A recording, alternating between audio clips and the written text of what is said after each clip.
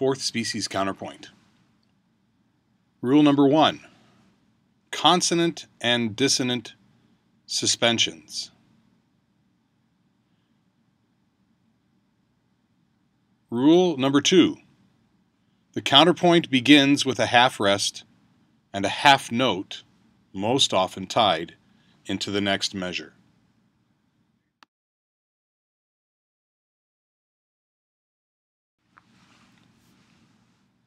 Fourth species rule number three, all suspensions must have a consonant preparation on beat three.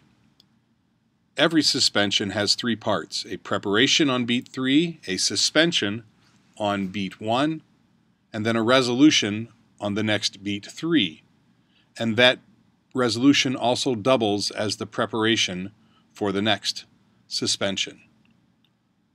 In any kind of suspension,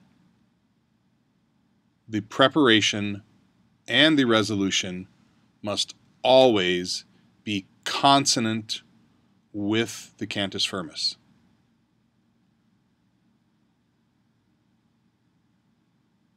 Rule number four dissonant suspensions must resolve down by step. Rule number five consonant suspensions may resolve up or down by step or consonant leap. So let's look at the examples here. In our first tie, the 5 is tied to a 3, consonant 5, consonant 3. This is a consonant suspension, so this suspension resolves up by a consonant leap. The next suspension, however, is a dissonant suspension. There is a 7 on the downbeat. In this case, the consonant sixth preparation is tied over to a dissonant seventh. Therefore, this seventh must resolve down by step to C.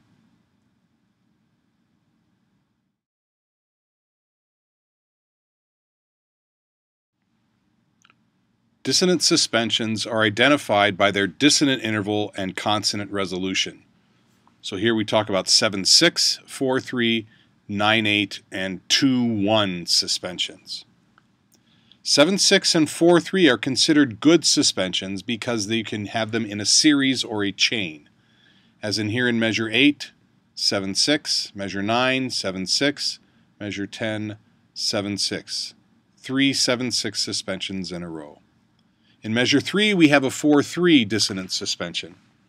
This suspension was not tied over because if it were, G to G would require a downward resolution to F, which would put it lower than this G in the cantus firmus, creating an overlap. So 7, 6, and 4, 3 are good suspensions. You may have one 9, 8 suspension, but never a series of them. And 2, 1 suspensions are never allowed.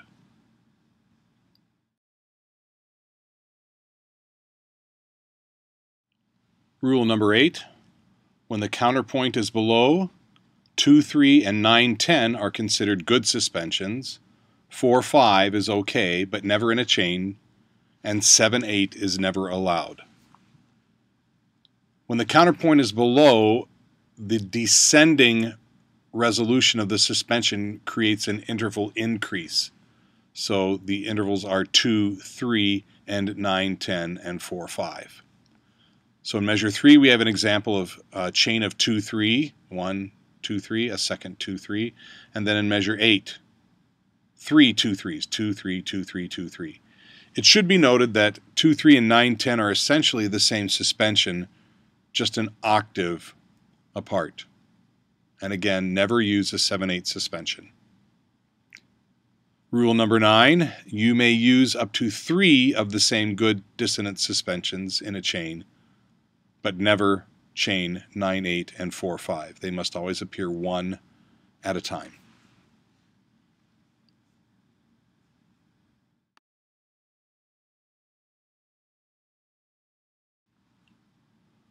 For species rule number 10, because of the tendency of the counterpoint to constantly descend, it is sometimes necessary to break out of fourth species into second. In those situations, second species rules apply.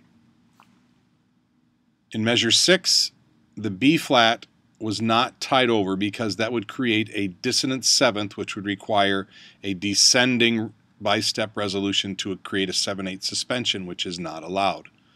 So instead of tying the B flat, leap, consonant leap down to the F, consonant octave leap up to begin a new chain of suspensions. In general, you should only break species once. Um, two or more times, the counterpoint looks more like second species than fourth. If that's you find yourself in that situation, you may need to find a different cantus. As a hint, cantuses that have descending lines work best for fourth species. So you can see here we have a leap up, descending three notes, descending two notes, descending five notes. In fourth species, in order to end with a dissonant suspension, you must end 3 2 1 in the cantus as opposed to just 2 1. Rule number 11 the single consonant high point requirement is suspended in fourth species. You may have a dissonant high point or a doubled high point in the counterpoint. The cantus must still have a single consonant high point, but the counterpoint is removed from that requirement. Rule number 12 never tie into the last measure of the counterpoint.